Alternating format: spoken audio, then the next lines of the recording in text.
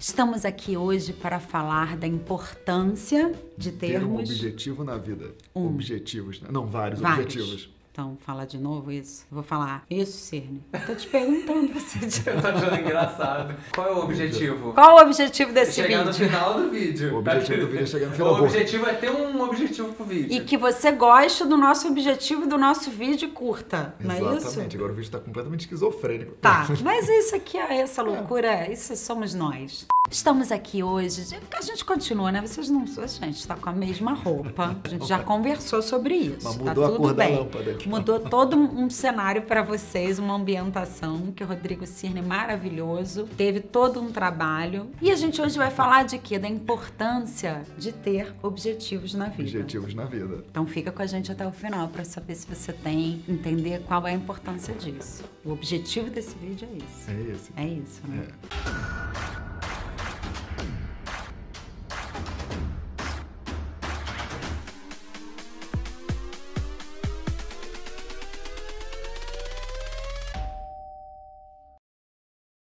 Por que, é importante ter objetivos na vida? Porque quando você tem um objetivo, você ganha força. Todo o nosso melhor é canalizado para que aquilo aconteça. As pessoas elas ficam perguntando assim: Ah, João, o que, que eu posso fazer para poder ter autoestima? Você precisa listar primeiro todas as suas qualidades e olhar para elas. Aí, o que, que eu preciso ter para ter autoconfiança? Aplicar a tua autoestima. Aí você desenvolve autoconfiança. A gente podia botar isso aqui, né? Um, dois, né? Aí o que, que acontece? Agora que eu tô com autoestima, eu consigo entender melhor quem eu sou, eu consigo colocar quem eu sou em ação. Se eu tenho um norte, eu fico potencializado na minha vida. Porque o que, que as pessoas que estão mais potencializadas na vida conseguem? Elas alcançam mais facilmente os seus objetivos. Se você não tem um norte para direcionar a tua força, você fica perdido. Eu preciso ter uma noção de para onde é que eu tô indo, para o meu melhor acontecer. Só que o que a maioria das pessoas fazem? Elas ficam perdidas esperando que algo simplesmente aconteça. Claro, tem a parte da jornada, né? Que é viver, deixar as coisas acontecerem, dependendo do que você quer que aconteça, é ir aproveitando a vida. Agora, se eu tenho um objetivo, a minha força ela passa a acontecer. Pra gente deixar os objetivos mais claros, colocar em passos. Você falou uma coisa assim: você precisa se conhecer, se você tem problema de autoestima, enumerar as suas qualidades. Eu- E listar mesmo. Você acredita que escrever, assim, pegar um papel, uma caneta e pensar. Só que aí tem pessoas que vão falar assim: ah, eu não acho que eu tenho nada legal. Então tu vai fazer o seguinte: tu vai pegar e ligar ou mandar mensagem pra tudo que é amigo seu perguntando. Fala aí algumas coisas bacanas que você vê em mim. Aí eles vão te oferecer elogios, carinho, amor. Ou aí uma coisa que lá. você ouve muito, fala, ah, você é engraçado. Você Aham. sempre, toda hora, me falam que eu sou engraçado. Então, Anota lá. Lembrar. Sou engraçado. E aí, como é, que eu, como é que eu uso o ser engraçado na minha vida? Eu vou para uma ação. Essa ação vai me levar para o objetivo, se eu tenho ele claro. E aí a gente já está falando de três verbos, que é o ser, fazer e ter. Quanto mais eu descubro quem eu sou, quanto mais eu invisto em autoconhecimento, mais eu tenho ações coerentes com quem o João é. E aí eu alcanço meus objetivos. Então, se eu tenho um objetivo claro, quanto mais eu me descubro, mais eu me desvendo, mais eu vou para ações que vão me levar para esse objetivo, entende? E, e esse é que é o grande pulo do gato da vida. Para poder a gente conseguir alcançar o que a gente quer, a gente tem que olhar para dentro. Normalmente as pessoas olham muito para fora. Então, por exemplo, às vezes eu quero desenvolver minha autoestima, eu vou e compro um carro. Aí eu passo a achar que agora eu sou incrível porque eu tenho aquele carro. Aquele carro é o fim já do processo. é um equívoco, né? É um equívoco. Às vezes, se eu descobrir quem eu sou, se eu olhar mais pra dentro, eu posso perceber que eu não preciso daquele carro. Eu não tô, não tô sendo contra adquirir coisas materiais, não é isso. Mas muitas pessoas, às vezes, quando estão mal, o que, que elas fazem? Elas vão pro consumismo, Sim. que é uma forma delas não olharem pra dentro. É, e acreditam que algo externo mesmo, né? Vá colocar ou nutrir aquela falta, né? Aquele vazio. Por exemplo, sem ser comprar. Às vezes a pessoa pode ter um vício, Uhum. ela pode ficar rodando no mesmo lugar por conta de um vício. Às vezes não saber o que dá prazer pra ela, Uhum. ficar trabalhando em excesso porque no fundo ela não tem nem, ela nem sabe o que fazer com o tempo livre. Os objetivos também são importantes com relação ao prazer. Uhum. O que, que eu vou fazer, por exemplo, no meu final de semana? Eu tenho um objetivo traçado, eu consigo me dar prazer, eu consigo ser uma pessoa que, quando às vezes eu tô mal, eu me levo pra praia, eu me levo para um cinema, para um teatro, eu paro pra fazer algo por mim. Isso é ter um objetivo. Pessoas que se nutrem emocionalmente são pessoas que têm um norte claro. Você pega uma pessoa, por exemplo, e vê ela dando certo na vida, normalmente as pessoas colocam inveja nessa pessoa. Pega a palavra inveja e quebra no meio, é inveja, é não veja. Ou seja, você não tá vendo o que está acontecendo dentro de você. Aí a gente joga isso pro outro. Isso faz com que eu não saia do lugar. Então, em vez de eu olhar para dentro para eu Olha avançar, que legal. eu olho pro outro. Olha que loucura. Cine tá aqui assim, ó. Maravilhoso, mas tá atento aqui, tá? Sim, e, e é, e é muito forte isso, porque quando a gente está invejando alguém, a inveja é um movimento que se você parar para prestar atenção, ela tá trazendo uma cura. Esquece o carro do O outro, a roupa do incômodo, outro. na verdade, né? O incômodo. Essa coisa do espelho, né? Que você fala que o outro te incomoda, é algo que tem em você que você Aham. precisa trabalhar. Passa por esse lugar também. Totalmente. Passa por esse lugar e por isso que eu tenho que olhar pra dentro pra não ficar preso nesse lugar. Senão eu fico igual o Narciso lá, o personagem da mitologia, Sim. que ficava olhando lá pra ela, se apaixonando pelo próprio reflexo, não fazia nada. Afinal, cai lá, morre afogado.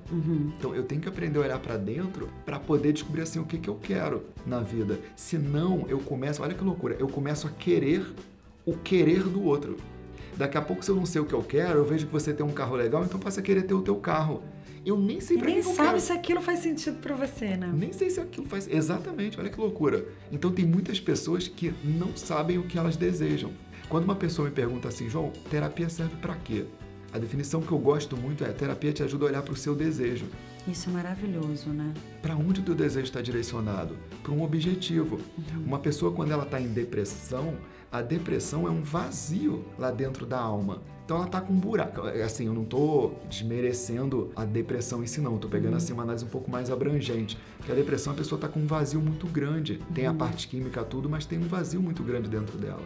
Então, esse vazio, muitas vezes, tá precisando de objetivos. Tudo bem, você vai melhorar da depressão, você vai fazer o que quando você melhorar? Vamos pensar para onde você pode direcionar a tua força, teu amor, teu, teu carinho, tua vida. Aí a pessoa já começa, aos pouquinhos, aí montando um cenário para onde ela pode ir. Ai, tô até melhor. Achou o seu objetivo? Eu acho que eu tenho até muitos, viu? Eu tenho um problema até de, de falar, agora eu vou pra onde, gente? Porque são muitas possibilidades, mas isso é bom, né, também. Sim, Tô cheia de vida, tô cheia de coisa pra acontecer. Mas isso que você falou agora foi legal, porque assim, olha que interessante. Tô cheio de coisa para acontecer. O que que faz a gente conseguir definir para onde a gente vai? Os nossos valores. Sim. Trabalho, família, é, amizade, lealdade, paz. Quais são os valores que as pessoas têm? Quando o objetivo, ele tem que ter os teus valores. Para você ter uma ideia, quando uma pessoa se junta com outra, né, um casal, você percebe que o relacionamento vai durar quando os valores estão juntos ali, estão em harmonia. Então, se você for ver, o casal tem um objetivo também. A gente tem objetivos o tempo inteiro. Só que quando a autoestima está trabalhada, a gente banca o objetivo. Sim. É como se eu falasse assim: eu vou assumir isso. Se eu sou um atleta, por exemplo, e eu quero assumir o meu melhor, dar o meu melhor para ganhar o campeonato, eu tenho que ver assim: peraí, o que, que tá me levando a querer ganhar esse campeonato? É para aparecer? É porque eu vou conseguir um resultado bacana? É porque eu quero seduzir, sei lá, as mulheres? Ou eu quero ter aquele troféu lá no meu quarto? O que, que tá me levando a querer ganhar? Eu tenho que mapear esse objetivo para poder saber onde eu quero ir. E, e olha que bacana: objetivos maiores demandam uma identidade maior. Você vê uma pessoa alcançando algo muito grande na vida dela, você pode contar que ela tem uma identidade grande por trás. Só se for um trambiqueiro, aí, aí é complicado. Sim. Mas assim, Temos também, né? é, Brasil, a ó. é, tem o trambiqueiro que ele pega o atalho. Mas sim, se você não for um trambiqueiro Sim. e estiver lutando para ter um objetivo grande, tua identidade tem que estar grande. Então, é, eu acho muito bonito quando eu vejo alguém conseguindo algo que eu também estou buscando e essa pessoa está muito lá na frente, eu paro para olhar para essa pessoa. E eu olho e penso, caramba, como essa pessoa construiu uma identidade bonita para estar chegando naquele patamar que ela está querendo. Então, em vez de eu querer o que o outro tem, eu tenho que querer desenvolver um João melhor para chegar lá. Entendi. Senão eu, entro na inveja e vou querer arrancar o que é do outro. Viram inspirações e não esse olhar negativo, é isso? Essa palavra que você falou, inspiração, é- ela é perfeita, porque assim, você inspira o melhor do outro para você e começa a se desenvolver. É a ideia da autoestima. Como é que eu posso desenvolver, por exemplo, algo que aquela outra pessoa tem? Como é que eu posso trabalhar isso em mim? Porque se você admira alguém, você pelo menos 1% daquilo você tem. Então eu posso desenvolver aquilo um pouco mais. Ai, que lindo isso, né? Adorei isso. A gente só consegue admirar o que existe na gente. Admiro tanta gente. Por isso que a gente consegue chegar onde a gente quer. Então, assim, em vez da gente olhar tanto para fora, os maiores objetivos que a gente quer estão dentro. Por isso que na hora que a gente se descobre, as ações elas acontecem e levam a gente para o estado final, que é o estado desejado. Ai, gente, tá muito fofo esse vídeo, né, Cirne? Vem aqui me abraçar. Eu tô pensando aqui, eu falo, gente, eu admiro tanta gente. Será que eu tenho 1%? Então, tem um pouquinho dessa gente toda que eu admiro. Admiro você. ah, obrigado. Admiro as pessoas que me. Sim, eu admiro vocês, vocês sabem. Admiro Cirne, internamente e externa também, por que não? Por que, que eu vou desperdiçar a beleza do Cirne? Não preciso. É um braço bem entorneado, uma barba, uma coxa que acontece, um tom de voz no lugar. Tiago Parente, um beijo, te amo. Lembrei. Tá? Muito obrigada por vocês terem ficado com a gente até o final. Só uma descontração, só pra não chorar aqui. Beijo.